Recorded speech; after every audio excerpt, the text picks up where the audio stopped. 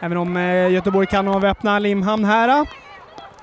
Jonsson här, debut senast, eh, kan få till ett skott. Och vem kommer där då? Och det gör hon ju! Hammarlund, hon är så giftig!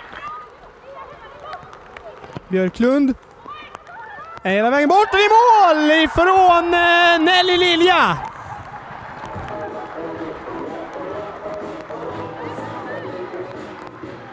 Ett lyft, det är fyra av de fem som har gått på mål för Göteborg. Parika. Oh, den går i ribban! Då hoppas man att eh, Rubenssons eh, högerfot ska hitta Hammarlund kanske, och det gör hon ju. Nej, det istället så att det är eh, Beata Kolmats som hittar! Det är kvitterat!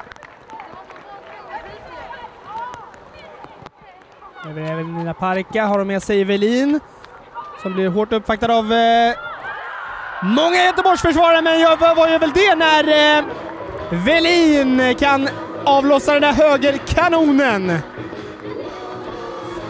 Anna Velin.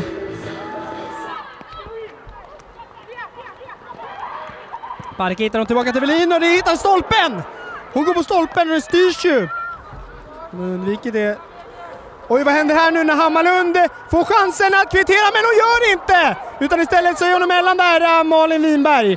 Det blir eh, seger för eh, hemmalaget Lima Munkeflo med eh, 2-1.